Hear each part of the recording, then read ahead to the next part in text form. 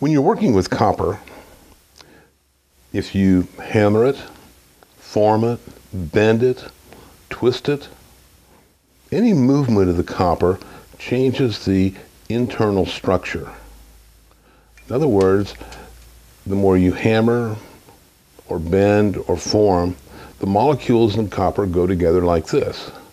And the more you hammer and bend, the tighter and tighter they get until the copper becomes so brittle, it'll just fracture. So in order to not have that fracturing, we anneal the copper. For example, in this piece, you know, it's fairly flexible. But if I keep bending it, you can feel it getting stiffer and stiffer and stiffer.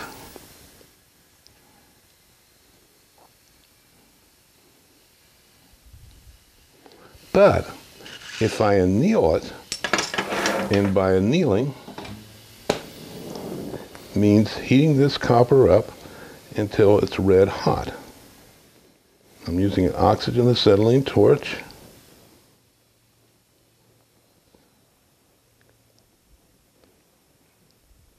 Keep moving my torch around so I don't stay in one spot too long or I might burn a hole in this. Now that it's all red hot, I'll let it cool.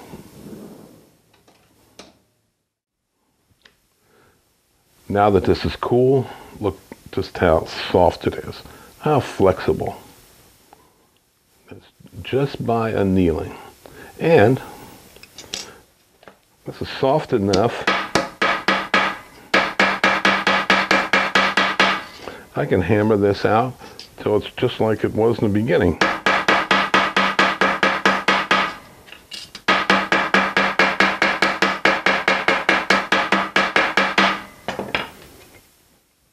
But even that, those mallet strokes there stiffened it up considerably.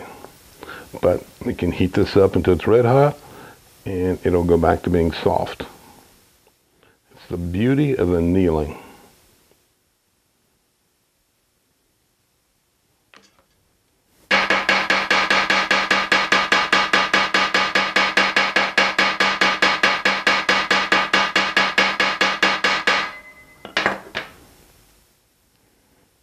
Now it's rigid. Just those hammer taps. But I could anneal this again and it'll go back to being soft.